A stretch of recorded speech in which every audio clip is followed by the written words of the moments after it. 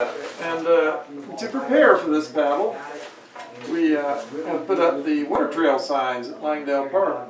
Is that the first time they've gone up there? It is the first time. Beautiful. You have one of these, which is the top sign, which is about the.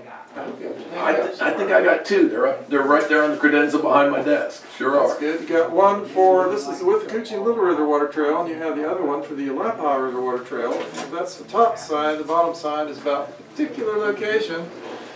Many of these, you can look at this one. Yeah, thank you. Many of these pictures were taken by Bobby McKenzie, who's now our paid intern.